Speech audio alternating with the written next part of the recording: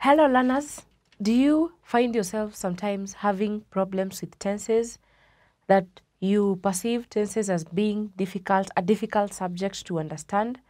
So, in this lesson, I'm specifically going to simplify the tenses in English for you. I'm going to give examples of sentences, explain the form, and explain the different types of uh, the different types of tenses and their uses to make it more simpler for you. So welcome to Manifested Online Classes. In this lesson, I'll be taking you through the simple present tense to be specific.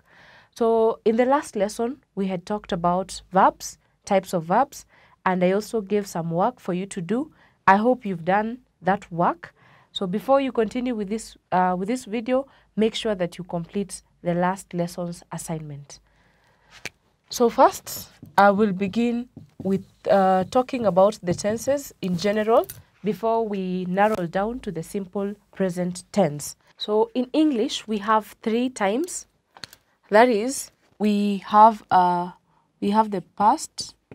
I'm going to use a line to try and explain better. So we have the past, then at the center here we have the present, and then we have the future time. So it is these times that actually dictate the tenses.